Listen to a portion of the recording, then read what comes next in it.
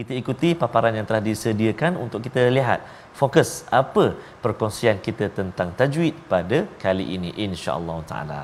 Jadi insya-Allah uh, kita nak tengok sempurnakan potongan ayat ini dan sempurnakan huruf dad ketika waqaf. Ha, baik. Jadi ayat ni ialah ayat yang ke-51.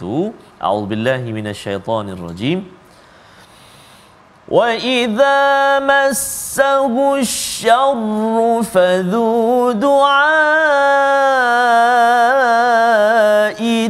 عريض baik ha, jadi ayat itu ialah potongan maksudnya kita sempurnakan uh, bacaan pada daripada wa idza tu sampai arid dan fokus kita juga ialah di akhir ayat itu pada kalimah arid iaitulah hujung dia tu huruf dad. Ah ha, hujung dia huruf dot pertama. Jangan tertukar dot dengan dal arid. Jadi dal tipis. Salah. Dia dot, kan. Arid isti'la. Baik, satu. Yang kedua yang kena jaga jangan meletup. Ha, pada dot tu jangan meletup ataupun jangan melantun sama sah. Hmm, ah qalqalah. Hmm. Jangan sebab dot tak termasuk dalam huruf qalqalah.